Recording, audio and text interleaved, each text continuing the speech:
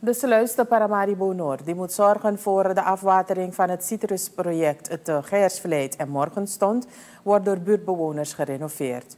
De mensen hebben uit eigen middelen een project op touw gezet om de sluisdeur te vervangen. Volgens districtscommissaris Ricardo Bolla van Paramaribo Noordoost is de gemeenschap al dagen bezig met de werkzaamheden.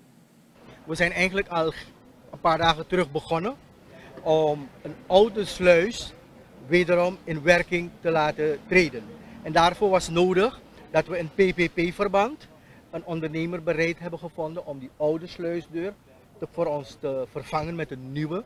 We zijn bezig om ook het uitstroom, de uiterwaarde uit te diepen, zodat het water zijn natuurlijke verloop gaat hebben. Het is een sluis. We zijn afhankelijk van uh, getijden, dus in feite een app gaat die open. Ik heb wel steeds met de minister ook afgestemd van dag tot dag wat we aan het doen zijn hier. En hij heeft ook aangegeven dat in de bedoeling ligt dat we uiteindelijk ook een pompgemaal hier gaan installeren, zodat we eigenlijk zoveel als mogelijk continu water kunnen wegpompen en kunnen afvoeren naar de Suriname rivier.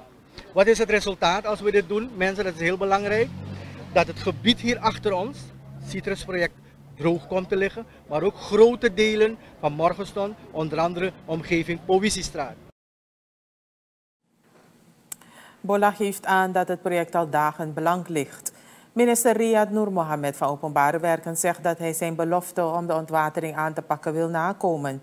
Ook is er internationale hulp ingeroepen om te ondersteunen bij de aanpak van de wateroverlast.